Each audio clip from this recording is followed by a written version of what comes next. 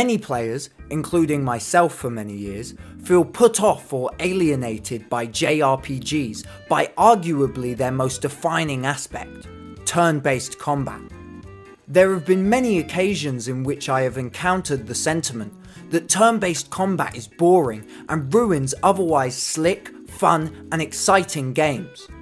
And though I believe a slight bit more open mindedness to the games one plays is necessary, I can understand how the player who grew up with the immediate respawns of multiplayer Call of Duty or the perfect timings required for smash fights would have a hard time adjusting to the slow, tactic heavy nature of a good turn based combat system.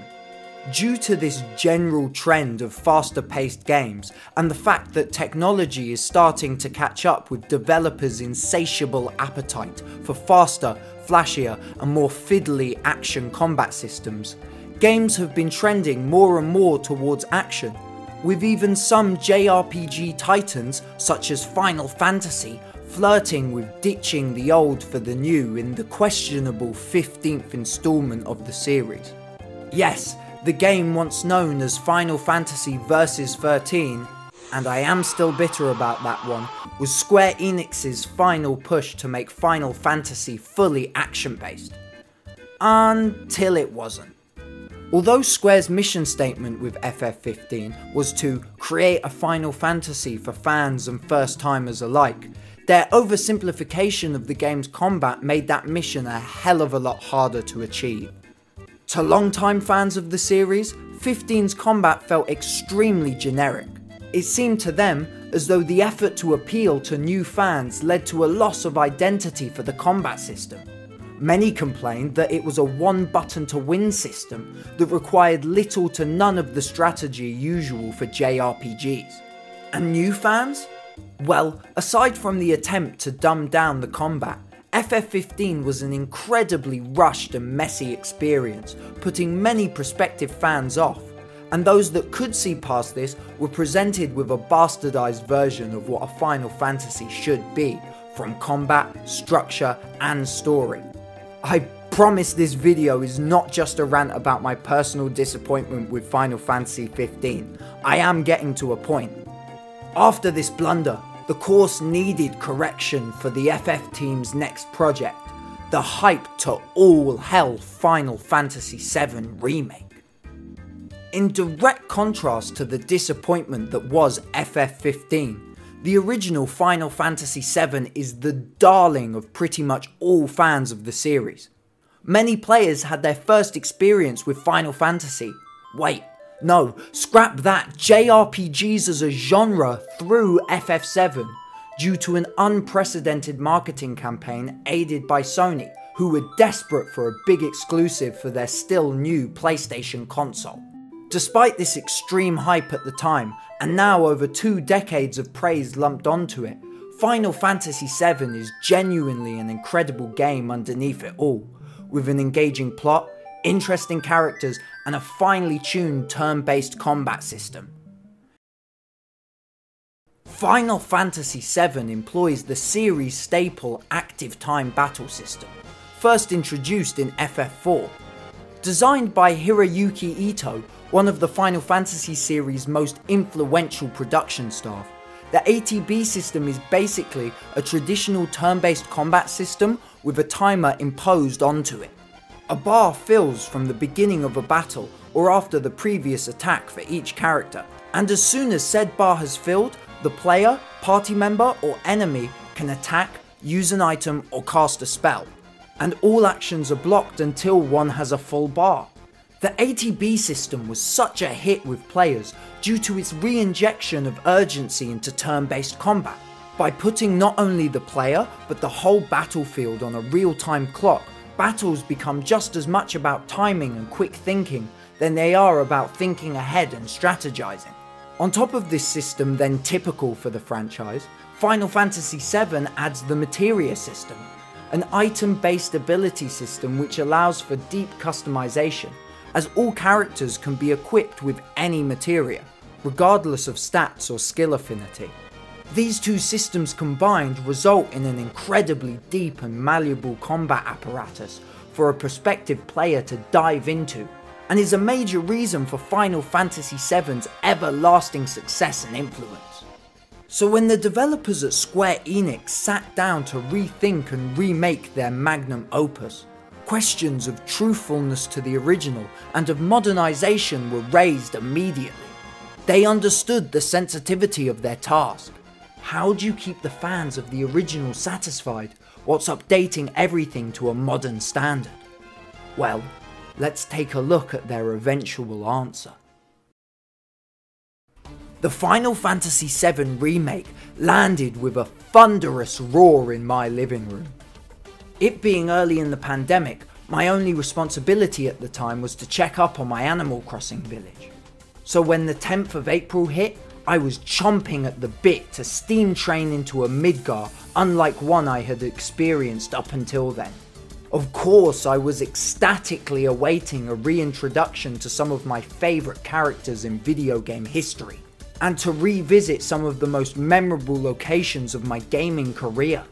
But as the new game shininess had started to dissipate, I surprisingly was not left with an empty, sinking feeling like most overhyped AAA RPGs released recently. Cough.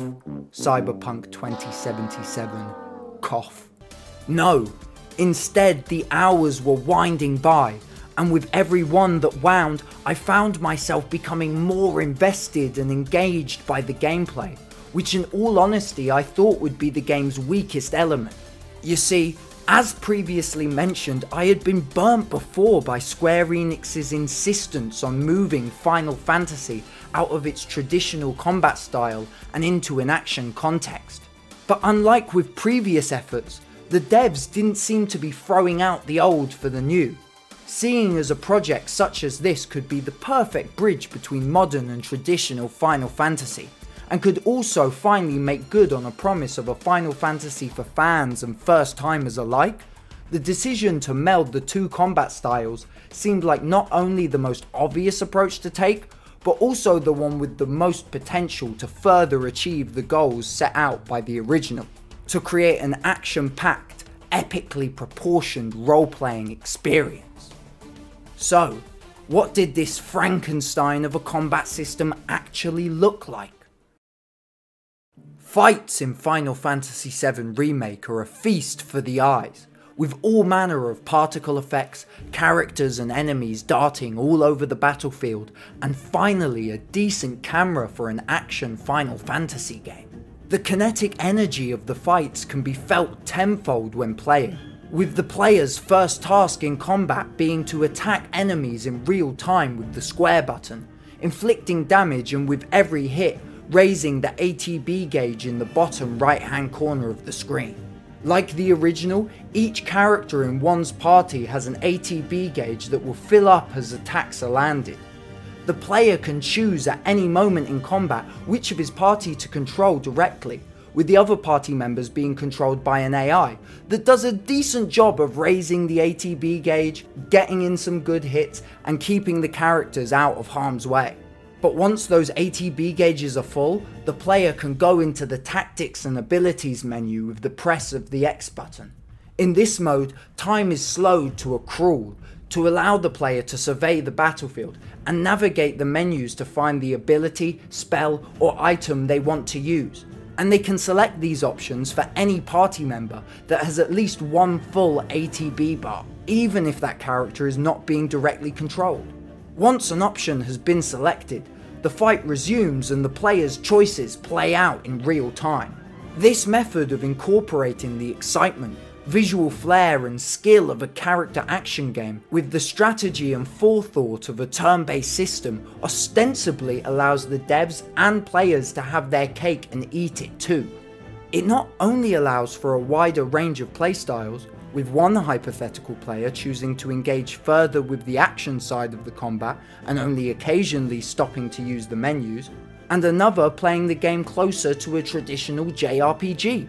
But most players, I think, played as the developers intended, with a good mix of the two systems, for this is when the game feels at its most visceral and exciting. Watching Cloud rip through a group of Shinra troops in slow motion as one chooses an option in the menu, and then seeing time speed back up and the devastating result of one's actions is truly mesmerizing. This new and improved Action ATB system feels incredibly satisfying to play and is a direct continuation of the design concept of the original ATB system, to demand not only strategy in combat but quick thinking as well. All of this is matched with a virtually unchanged materia system, leaving the remake playing like the game you falsely remember to be the Final Fantasy VII of your childhood. Let's take a closer look at the menu system, more specifically the Abilities tab. In the original FF7, the first three options of the battle menu were Attack, Spell, and Item. But in the remake, the attack option is left futile by the introduction of the real-time combat.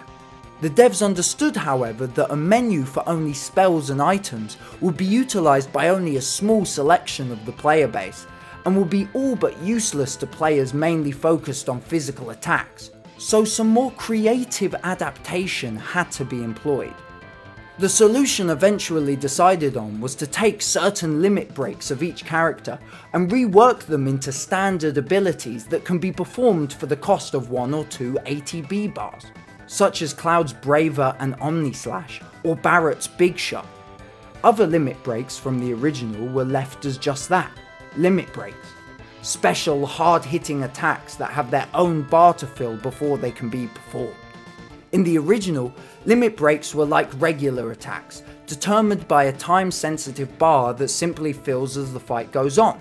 In the remake, the bar is filled when the player takes damage or staggers an enemy with the former giving struggling players a leg up in tough fights, and the latter giving more skilled players a more specific goal to work towards in combat.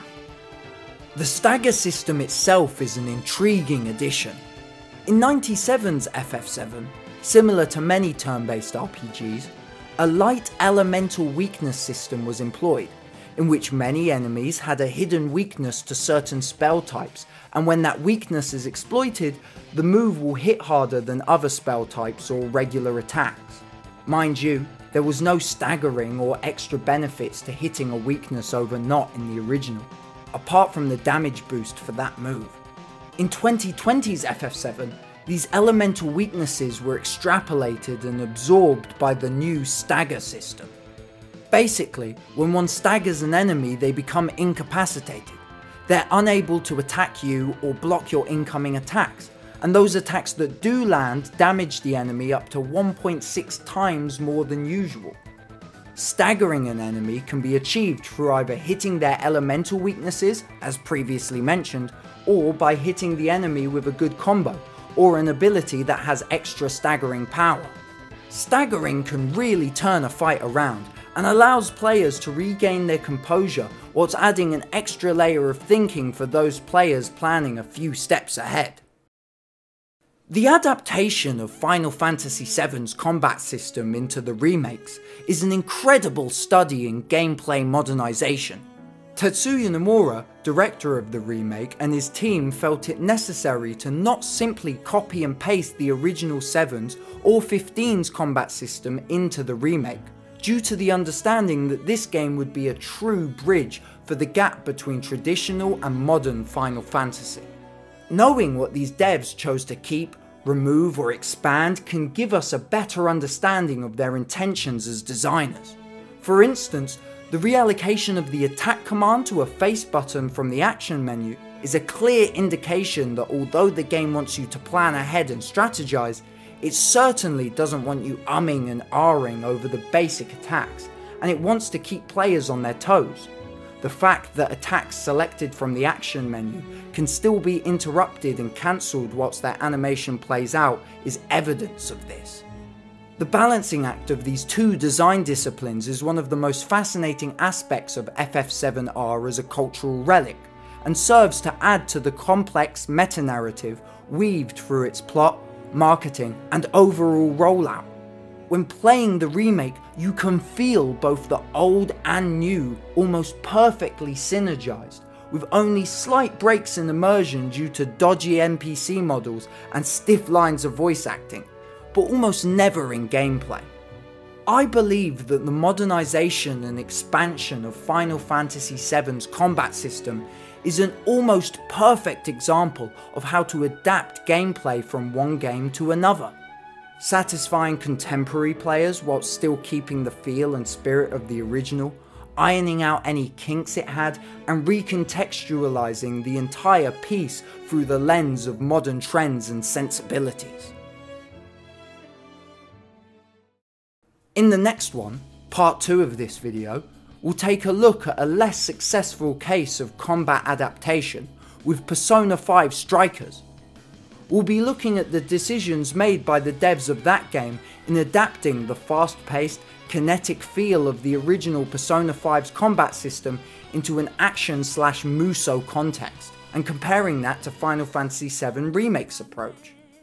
If that sounds interesting to you, please subscribe and turn on notifications to be notified when that drops. Thank you for getting this far in the video. If you liked it, please like, comment and subscribe. It really, really, really helps. Thank you, and until next time.